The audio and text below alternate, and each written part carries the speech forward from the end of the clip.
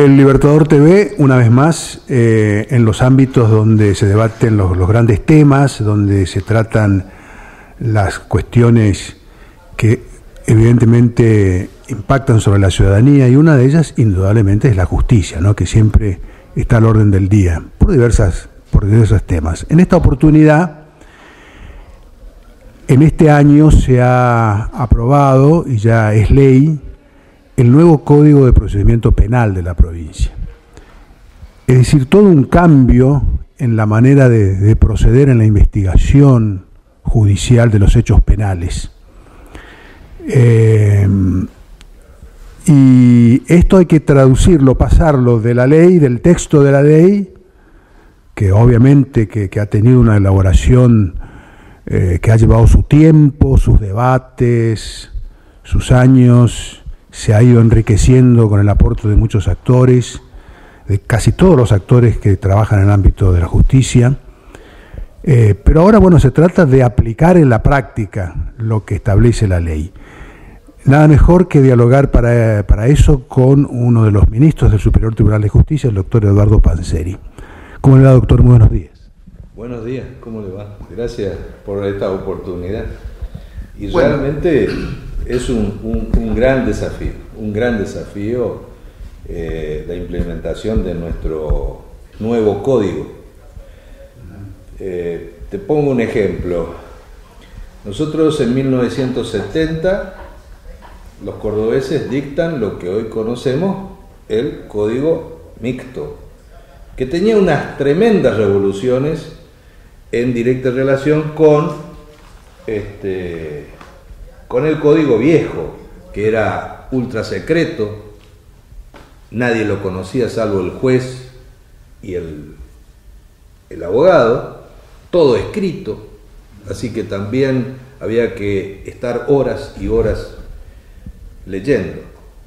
Y en el año 1971 nosotros lo ponemos en vigencia una copia casi textual del cordobés. Los cordobeses hicieron 120 modificaciones. Por eso es que ellos ya no hablan del viejo y del nuevo, hablan del código. Nosotros tenemos que hablar del viejo y del nuevo porque nunca durante 40 o 50 años hicimos ninguna reforma. Entonces, eh, nuestro proceso es un poco más traumático, es más doloroso. Dejar en lo viejo todas las costumbres, todas las, la, la, las circunstancias que estábamos muy apegados y hoy se aparece algo nuevo. Un ejemplo, y puedo dar millones. Hoy tenemos el juzgado número uno, el juzgado de instrucción número uno, el fiscal número uno de, de instrucción, el asesor, el defensor, todo número uno, dos, tres, cuatro, cinco, seis. A partir del primero de agosto, en Pasos los Libres y Montecasero, va a haber eh, fiscales de investigaciones y jueces de garantía, jueces de revisión, pero el número uno, número dos, ya no va a existir más. A su vez también, la organización administrativa del pleito, de la cuestión, era presentar ante el proceso, el sumario, en el juzgado de instrucción número uno. ¿Está claro? Donde estaba un juez con un secretario, un montón de empleados, que a veces era insuficiente, a veces andaba bien, a veces no andaba toda una organización administrativa que dependía del juez. Bueno, hoy que ¿qué, qué, qué, ¿cómo vamos a estructurarnos? Con una oficina judicial que va a administrar la relación, la conectividad entre las partes, pero que no recibe órdenes ni del juez, ni del fiscal, y mucho menos del defensor.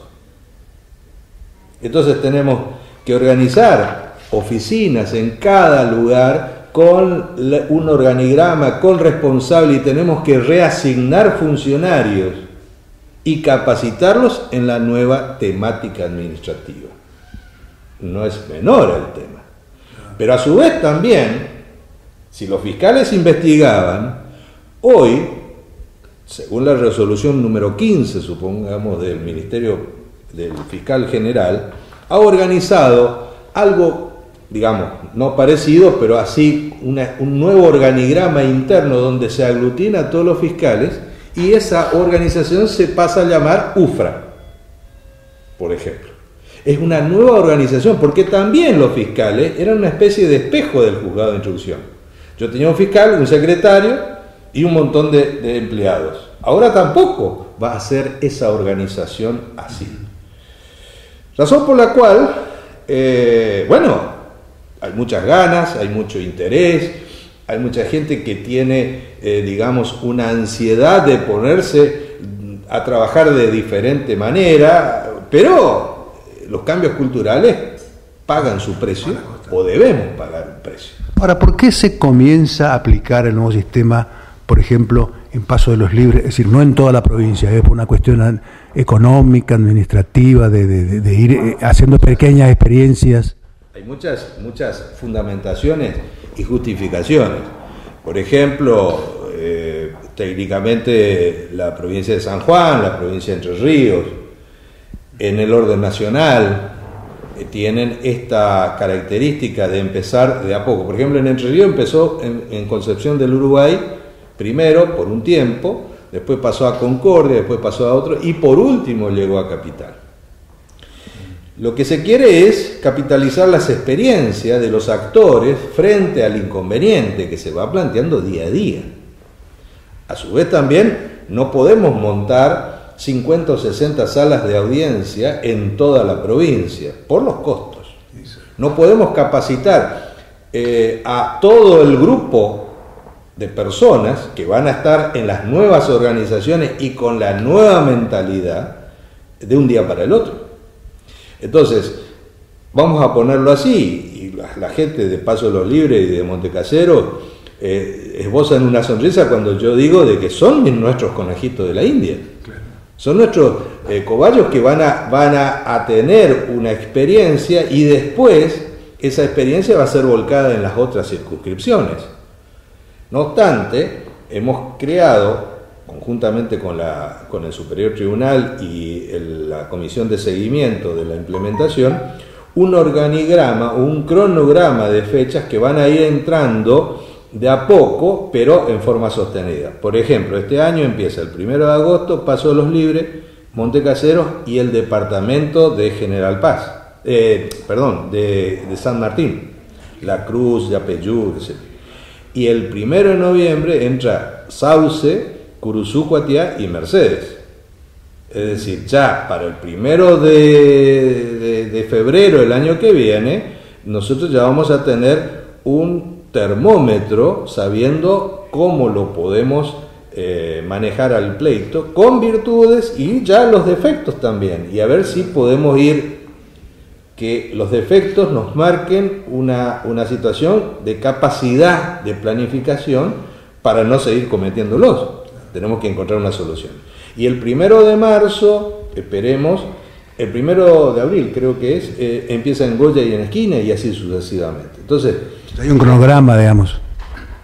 Nosotros ahora tenemos que planificar algo extremadamente importante que nos va a llevar 7, 8 meses en la construcción, que es el software o el programa el software o el programa que va a administrar, va a administrar el nuevo código. Hoy tenemos un programa que está funcionando desde el año 2007, con muchos errores y con muchas virtudes, que se llama Yuri. Muy bien. Nosotros teníamos que pensar y poner en un papel, y gracias a un montón de colaboradores del Superior Tribunal, todas las alternativas que se van sucediendo para darle a los, a la, gente, a los programadores de informática cómo tienen que alinear los signos matemáticos y eléctricos para diseñar el software. No es menor el trabajo y estamos escalando una gran montaña, yo te diría, te diría una concagua. O sea que todos los sectores tienen que ponerse a trabajar en esto. Un ingeniero, un licenciado no tiene la menor idea del código, pero los que sabemos del código, yo no tengo la menor idea del... Entonces tenemos que unir, unir esas, esos conocimientos. Hay problemas y tenemos que la voluntad férrea de solucionar esos problemas. Para darte una idea, esto es una... Un organigrama. Un, un flujo grama, yo le llamo mapa conceptual del código, acá estaría la denuncia, acá afuera tendría que estar una zona de reserva para la investigación del fiscal, que hay que diseñar, ¿no está? Claro. Está en por ahora. no, es que por algún lado hay que empezar. Claro. Acá está la denuncia que dispara la actividad del fiscal y podría disparar la actividad del fiscal en el, en el legajo judicial. Y tenemos tantas alternativas como cuestiones que hoy nos permite el, juzgado, el, nuevo código, tomar decisiones, como ser mediación, conciliación, arbitraje, eh, principios de oportunidad, eh, juicio a prueba, eh, juicio abreviado, imputación, un montón de audiencias que puede solicitar el fiscal partes, la participación de la víctima, la participación de la defensa, el querellante conjunto, el asesor también. Entonces vemos que hay un montón de personas que se pueden mover y pedir cosas. A partir de allí, nosotros, yo pido y se dispara algo. Todo esto es lo que puede hacer disparar en el legajo judicial el señor fiscal o el señor, o las partes, vamos a ponerlo así, las partes, incluyendo el fiscal. Y acá abajo está el juez. Quiere decir de qué? Yo tengo un mapa para el fiscal, un mapa inicial, después un mapa que tengo que organizar para las decisiones del juez de garantía. Después del juez de otro más, del juez de revisión, otro más del juez de ejecución. Recordemos, otro más el juez claro, de ejecución. Para los que no saben que, claro, en el nuevo esquema el juez no investiga, no, no participa en el proceso de la investigación, ¿no? Como dice ahora. Por eso acá tengo la investigación del fiscal por afuera y cuando él entienda, según los plazos que este, le dé el código, va a presentar ante el juez alguna decisión o va a proponer alguna decisión. Nosotros en la, en la, Argentina tampoco tenemos muy aceptado el principio de negociación con la contraria, que sí lo tienen los norteamericanos, los anglosajones, los chilenos, los chilenos, este, y otras, otras, este, otros países. Nosotros somos muy aferrados a hacer la demanda y que Dios y el, y el, juez decidan una cosa así, ¿no? A, morir o a matar, a vivir o a matar, no, hay términos medios.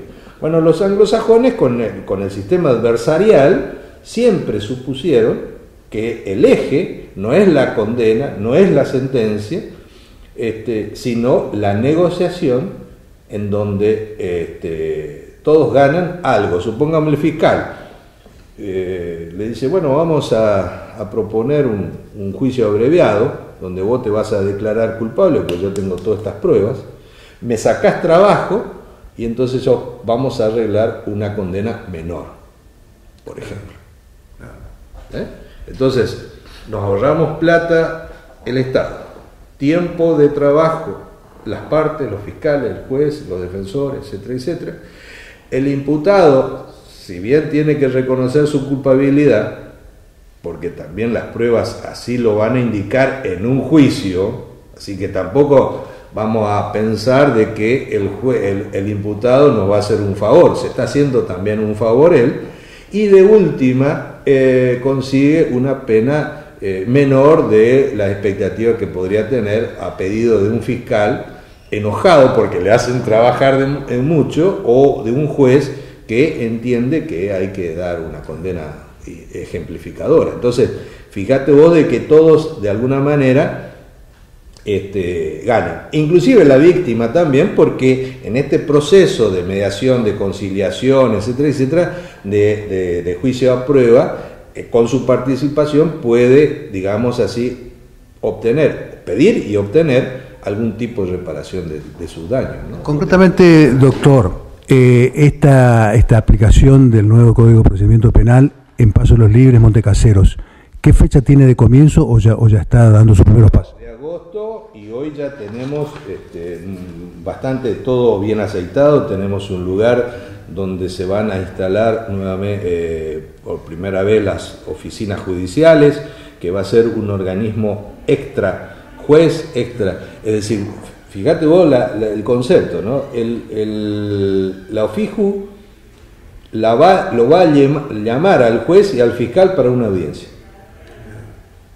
Ya no va a ser la agenda del juez o la agenda del fiscal. El fiscal viene y pide una audiencia y se le va, de acuerdo a, la solicitud que, que realice, esa audiencia será tramitada o asignada el día de mañana, porque encima son todos plazos muy cortos, 24 horas, 3 días, 2 días, 5 días. Así que el fiscal viene y pide, ya sabe de que mañana o dentro de dos o tres días ya le van a fijar una audiencia. Y el juez eh, tiene que estar esperando que le fijen la audiencia otra persona que no es su propia agenda. Tanto es así que hemos diseñado un logo totalmente distinto para eh, oficializar y representar lo que significa la OFIJU, es decir, la oficina judicial. Y hemos elegido el azul, que significa autoridad, significa tranquilidad, significa firmeza, son dos Jotas entrelazadas con una perspectiva de, cuerpo eh, y de proyección, porque esto es lo nuevo, y acá viene lo artístico. Hay que interpretar de que esto es una O también, entonces oficina judicial.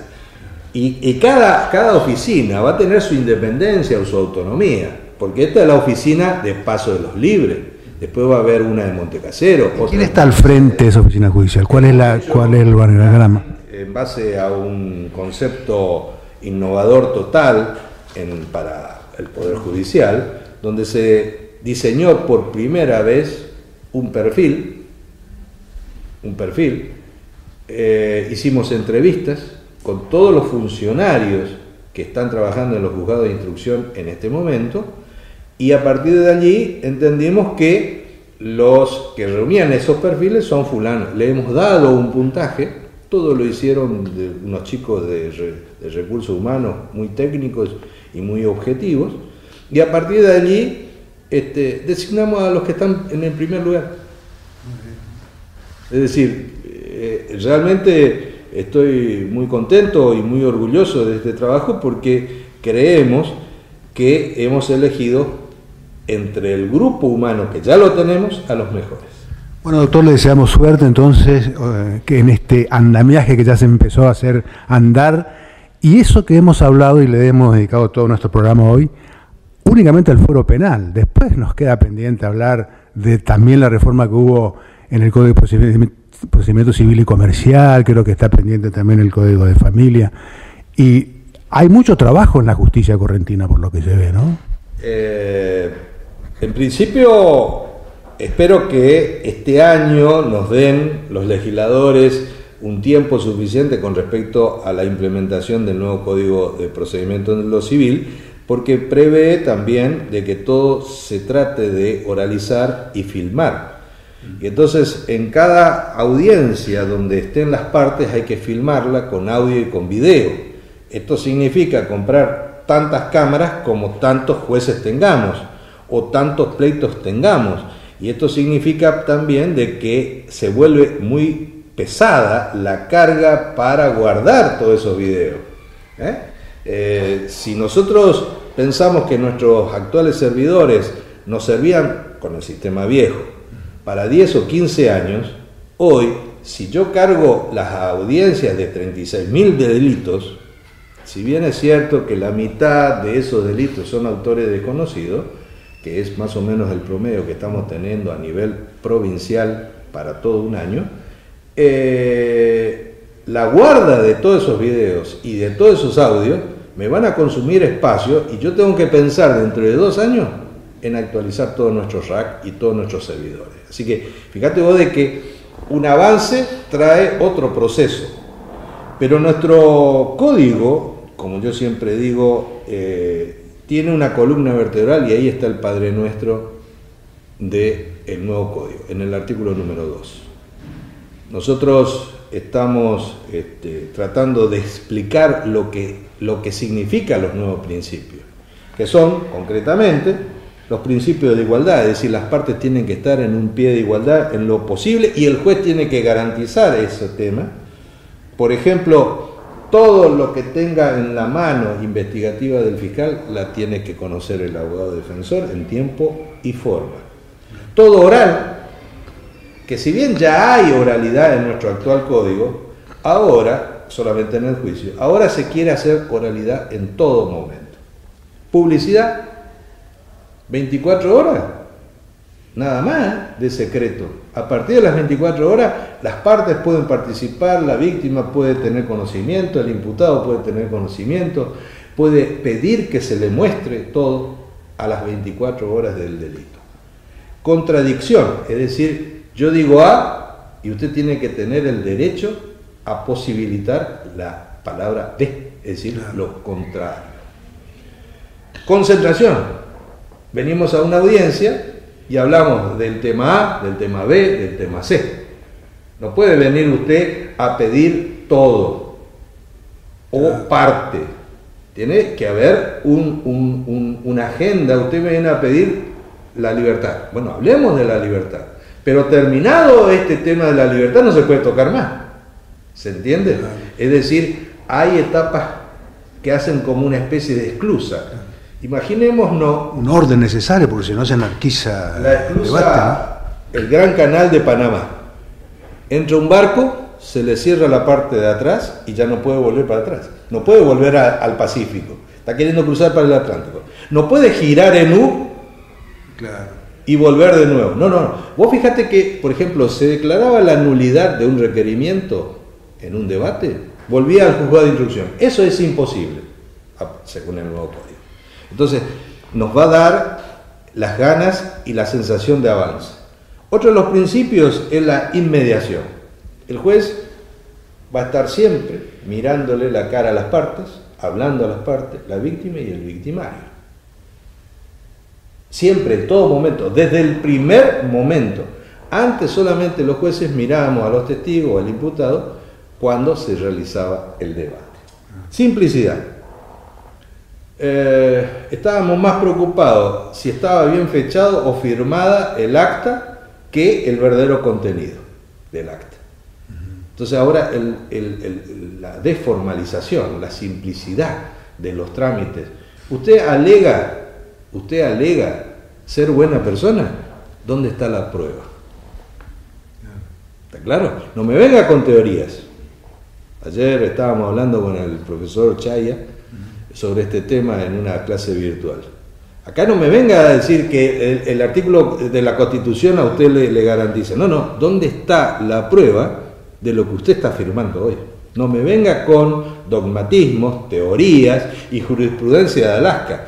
Tráigame la prueba que avala de que usted es una buena persona. Y entonces ahí me va a convencer. Y yo juez que no conozco el caso, y voy a conocer el caso por lo que usted me dice en esta audiencia, voy a decir, bueno, ¿tendrá razón o no tendrá razón? Serenidad. Si nosotros teníamos plazos cortos en el anterior, ahora tenemos más cortos todavía, 24 horas, 48 horas, 5 días como máximo. Y la deformalización. ¿Eh? Este, nosotros entramos acá y ya tenemos la reunión. Yo no tengo que buenos días, a ver, certifíquese por actuaria la presencia del Señor, qué sé yo. No, no. ¿Quién es usted? Yo soy el abogado defensor. ¿Y usted quién es el imputado? ¿Usted lo designó a él? Sí, con eso ya basta, porque está todo grabándose. ¿Usted quién es? Supongámoslo, yo no los conozco. Es un nuevo fiscal que, que fue designado. ¿Quién es usted? El fiscal. ¿Y qué viene a hacer usted? ¿Qué pretende usted? Yo vengo a hacer una imputación contra fulano de tal por tal y tal cosa. ¿Y qué, le, qué prueba le asiste? Yo tengo tal prueba, tal prueba, tal prueba. ¿Y usted qué opina? Tal cosa, tal cosa. Bueno, ahí está la contradicción, ahí está el pleito. Ahí está el formalismo. Y hay mucho de formalismo. Además, por ejemplo, las decisiones del juez ya no tienen que estar certificadas por un secretario. Él decide. Y ustedes dos tienen que cumplir lo que decidimos. Todo esto está avalado por un video. Así que cuidado, cuidado, cuidado con lo que digamos en una audiencia. Este, tenemos que ir, las partes tienen que venir con una planificación, con una estrategia. Yo no puedo venir, buena, a ver que salga lo que Dios quiera de esta audiencia. No, no, usted viene con un objetivo. Usted vino y dijo, bueno, a las 8 vengo hacer una entrevista sobre este punto y le voy a decir tal cosa y le voy a preguntar tal cosa. Y yo, sabiendo más o menos lo que usted, yo estoy haciendo lo mismo, es decir, queriendo estratégicamente que su audiencia conozca lo mejor posible sobre esta gran reforma que estamos teniendo y vamos a materializar el primero de agosto. Muy bien. Una vez más, todo el éxito entonces. Una última reflexión quería pedirle si en este contexto de pandemia eh, se han encontrado dificultades, imagino que sí, pero cómo la han enfrentado para hacer la tarea judicial manteniendo distanciamiento social, un largo tiempo que no hubo actividad, cómo, cómo, han, cómo van sorteando estas circunstancias. Con, mucho ingenio, mucho ingenio, porque ah, te pongo un ejemplo, nosotros compramos tres cámaras, para una para Montecasero, otra Paso de los Libres, esas cámaras de 360, eh, fija, con mucha, mucha tecnología, y una para Corrientes Capital. Y el problema es que yo le tenía que mandar una certi... Primero, encontrar el dinero. Segundo, encontrar el proveedor. Pues yo salí a comprar 10 celulares porque necesitábamos urgente y no teníamos en el mercado. Entonces tuvimos que ir a Capital. Bueno, Macanudo, compramos en Capital. Tenemos el proveedor. No pueden salir los trabajadores de la empresa eh, que tienen que venir a instalar, tienen, no pueden salir. Entonces le tuve que mandar una constancia, pedir autorización, tarda tres días, venir. Después cuando terminen de instalar, le tengo que dar otra constancia para que se vayan y le dejen entrar.